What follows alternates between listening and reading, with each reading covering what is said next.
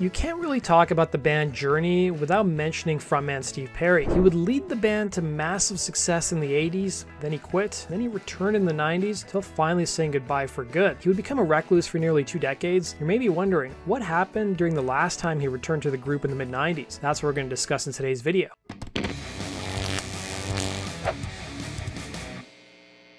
Journey was massive in the 80s. They seemed to release a record almost every year. They'd have numerous hits and singles, and they even had their own video game released, which was a pretty big feat back then, considering that this was decades before Guitar Hero or even Rock Band came out. That's not to say, however, that the game was very good. In fact, it wasn't. I've done a video on the Journey video game, the link is down below. Perry would lead Journey during the group's most commercially successful periods from 1977 to 1987, and then again from 1995 to 1998. In between his stints with the band, he also launched a successful solo career, but also became reclusive for almost two decades before finally returning to music just a few years ago. Steve Perry was the son of Portuguese parents in California, his dad being a vocalist and was a co-owner of the radio station KNGS. Following his parents ending their relationship, he grew up on his grandparents' farm with his mother. The defining moment for his life would be at the age of 12 when he heard the Sam Cooke song Cupid. It was at that moment that made him realize that he wanted to have a career in music. In his early 20s, Perry moved around California playing in different bands. The moment that would really change his life was when he received a phone call from Journey's manager, who had been given a tape of one of Perry's previous bands and was impressed with the singer's voice. Journey by this point in time were more progressive in their sound and was fronted by Robert Fleischman. Fleischman didn't prove, however, to be a good fit for the band and didn't get along with the group's manager. The band's manager, Herbie Herbert, thought that he was cocky and believed that Perry would be a great great replacement. That's not to say that Fleischman wasn't important to the band. In fact, he co-wrote one of the band's biggest hits, Wheel in the Sky. Surprisingly, Perry would tour with the band while Fleischman was still fronting the group, but to avoid arousing any kind of suspicion, Fleischman was told that Perry was a roadie's Portuguese cousin. During a sound check ahead of a gig in Long Beach, California, Perry sang with the band on stage while Fleischman was offstage. Fleischman was informed shortly afterwards that Perry was the group's new singer and that he was out of the band. Perry, for his part, brought a much more pop influenced sound to the group, and the addition of the singer alienated the group's longtime fans of their progressive sound. Not that it really mattered though, considering that Perry appeared to be the missing piece that the band needed in order to reach a new level of success. It was following the addition of Perry that the band would go on to dominate the 80s rock scene with hit album after hit album. After the group's 1983 album Frontiers, they would take some time off before reassembling to work on their follow-up record Raised on Radio. It was during during the sessions, the wheels finally came off the band when Perry's mother had fallen ill, making the singer unavailable for large periods of time as he was attending to his ill parent. His mother would pass away during the recording of the album, and the band would manage to finally finish the record, and Raised on Radio would be the group's final record with Perry for nearly a decade. Further adding to Perry's emotional state was that him and his girlfriend had broken up. Journey would tour to support the album, but partway through the promotional tour, Perry told the band that he was done